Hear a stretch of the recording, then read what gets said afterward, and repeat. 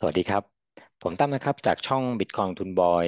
คลิปนี้จะมาพูดถึงข้อมูลของเฟดนะครับที่มีการเปิดเผยออกมานะว่าเงินออมครัวเรือนนะของครอบครัวนะครับในสหรัฐอเมริกานั้นเนี่ยเริ่มจะหมดลงแล้วนะครับ แล้วก็เสี่ยงนะที่ค่อนข้างที่จะเกิดภาวะเศรษฐกิจถดถอยอยู่เหมือนกันนะครับ ก็เช่นเคยนะคลิปนี้ไม่ใช่คำแนะนำทางด้านการเงิน หรือว่าทางด้านการลงทุนนะก็เป็นเพียงข้อมูลเบื้องต้นนะที่เอามาแชร์เพื่อนๆนะเพื่อที่จะสามารถไปหาข้อมูลเพิ่มเติมได้จากตรงนี้นะครับ มีข้อมูลผลสำรวจธนาคารกลางนะของสหรัฐอเมริกานะออกมานะเผยว่าครัวเรือนนะกว่า 80%นั้นเนี่ย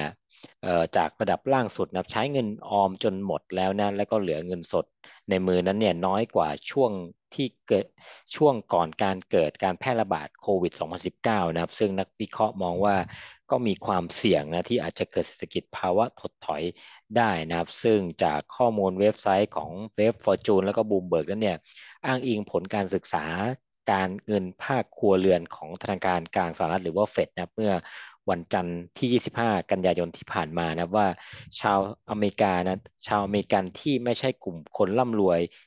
ที่ไม่ใช่กลุ่มคนร่ำรวย 20%ของสหรัฐอเมริกาเนี่ยใช้เงินออมพิเศษจนหมดแล้วนะครับ และเหลือเงินสดในมือน้อยกว่าช่วงก่อนเกิด การแพร่ระบาดโควิด 2019 ในช่วงเดือนมีนาคมปี 2020 นะครับ ซึ่งรายได้ยอดเงินฝากและทรัพย์สินที่มีสภาพคล่องอื่น ๆ ของครัวเรือนสหรัฐอเมริกา 80%นะครับจากระดับล่างสุดในเดือนมิถุนายนมีน้อยกว่าสินทรัพย์เมื่อเดือนพฤษภาคมปี 2020 นะครับ ซึ่งก็คือช่วงที่ก่อนเงินเฟ้อจะพุ่งขึ้นมานะครับ โดยผลสำรวจของเฟดเนี่ยพบว่าทุก กลุ่มรายได้นะครับมียอดเงินคงเหลือลดลงจากจุดสูงสุดในปี 2019 นะแต่มีเพียงหนึ่งในห้าของครัวเรือนที่รวยที่สุดนะครับที่มีเงินออมในปัจจุบันมากกว่าช่วงก่อนเกิดโควิด 2019 นะครับ และในทางกลับกันนะชาวอเมริกัน 2 ใน 5 ที่จนที่สุดนะครับมีเงินออมลดลง 8%นะในช่วงเวลาเดียวกัน และกลุ่ม ครัวเรือนอีก 40%นะครับถัดมา ซึ่งเป็นกลุ่มที่ใกล้เคียงกับกลุ่มชนชั้นกลางในสหรัฐอเมริกามีเงินออมลดลงน้อยกว่าช่วงก่อนเกิดโควิด ในช่วงปี 2019 นะครับ ตัวเลขดังกล่าวนั้นเนี่ยบ่งชี้ถึงอำนาจการซื้อของลูกค้านะครับที่น้อยลงนะ ซึ่งลูกค้ากลุ่มนี้นั้นเนี่ยเป็นคนที่ช่วยให้เศรษฐกิจสหรัฐอเมริกาฟื้นตัวได้อย่างรวดเร็วในปีนี้นะครับ ในช่วงครึ่งปีแรกของปีนี้นะ และทำให้ห่างไกลจากภาวะเศรษฐกิจถดถอยตามที่หลายคนเคยคาดการเอาไว้นะครับ แต่นักวิเคราะห์บางคนนั้นเนี่ยก็เตือนนะว่าภาวะเศรษฐกิจถดถอยยังมีโอกาสเกิดขึ้นนะเพราะครัวเรือนมีเงินสดสำรองเหลือน้อยลงทุกทีแล้วนะครับ ด้านธนาคารกลางซานฟรานซิสโกนะคาดว่าปริมาณสะสมของเงินออมส่วนเกิน อาจหมดเกลี้ยงนะครับในไตรมาส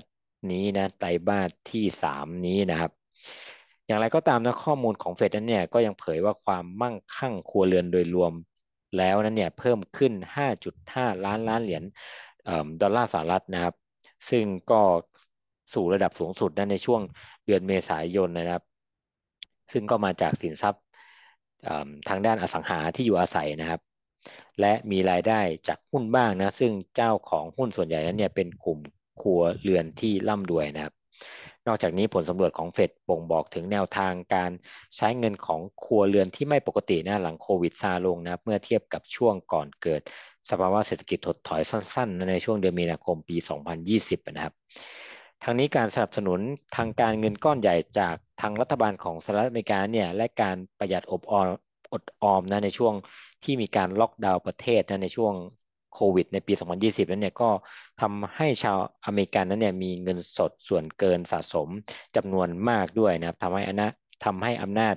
การใช้จ่ายของประชาชนนะช่วยฟื้นฟูเศรษฐกิจอย่างรวดเร็วนะครับแต่ตอนนี้นั่นเองนั้นเนี่ยเงินในมือประชาชนของสหรัฐอเมริกาเนี่ยเริ่มจะลดน้อยลงแล้วนะ ดังนั้นก็เป็นผลกระทบที่ทำให้เงินออมลดลงนะครับ แล้วก็นักวิเคราะห์หลาย ๆ คนนั้นเนี่ยก็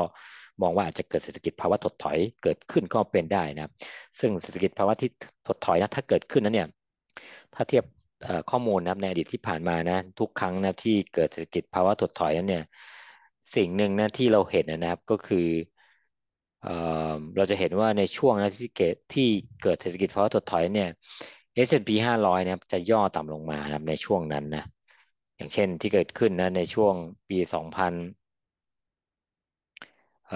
ปีสองพันปีสองพันล่าสุดปีสองพันยี่สิบนะครับ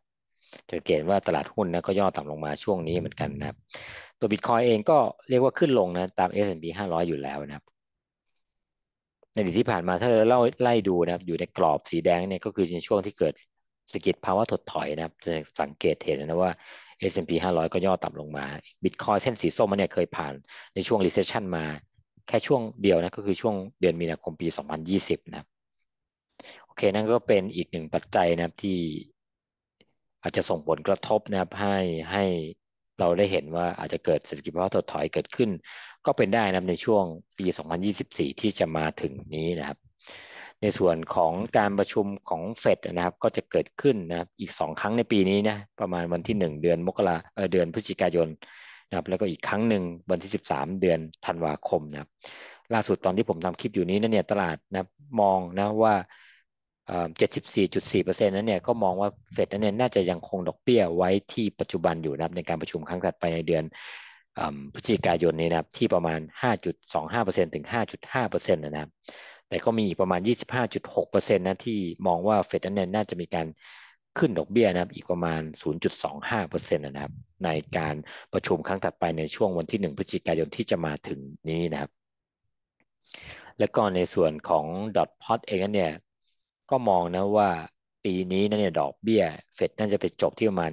5.6เปอร์เซ็นต์5.625เปอร์เซ็นต์นะครับ ดังนั้นก็ยังมีรูมนะที่ที่จะขึ้นได้อยู่นะสำหรับดอกเบี้ยของเฟดนะครับโอเคสำหรับคลิปนี้ก็คงมีข้อมูลมาแชร์เพื่อนๆฟังเท่านี้ครับยังไงก็ฝากกดไลค์กด Subscribe กดแชร์ช่อง Bitcoin ลงทุนบอยด้วยนะครับสำหรับเพื่อนๆคนไหนที่อยากจะสมัครเป็นผู้สนับสนุนช่องนะครับ ก็สามารถกดสมัครเป็นผู้สนับสนุนช่องได้ใต้คลิปวิดีโอนี้ครับสำหรับคลิปนี้มีข้อมูลมาแชร์เท่านี้ครับ สวัสดีครับ